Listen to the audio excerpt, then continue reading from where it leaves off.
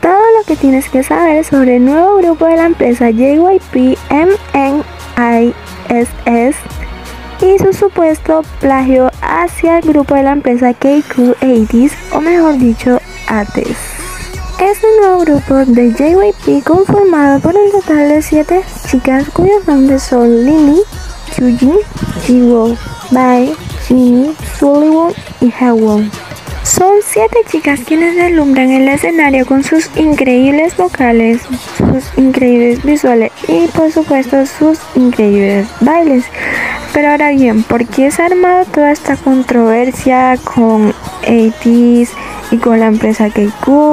¿Por qué llaman copión a JYP? Y bueno, para eso estoy yo, para explicarte todo esto.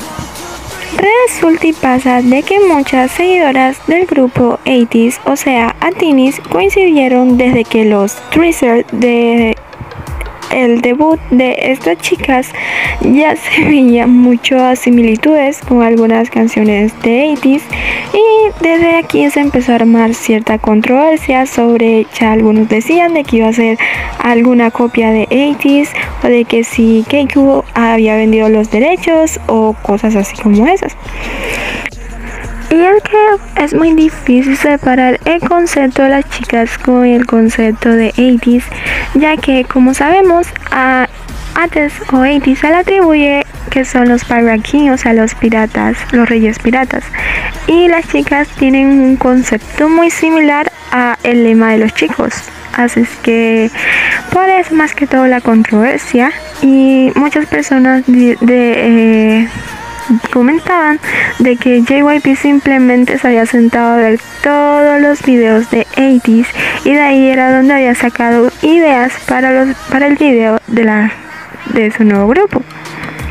Por eso es que se armó mucha controversia y a continuación le voy a estar eh, dejando una recopilación de imágenes que encontré en Twitter eh, en el cual ya hay un hashtag eh, por toda esta controversia, un hashtag donde dicen de que JYP le dé una disculpa a KQ y por lo que ahora mm, en este momento que estoy grabando esto no se han pronunciado JYP ni KQ a decir nada referente a esto, pero probablemente en las próximas horas sí digan algo.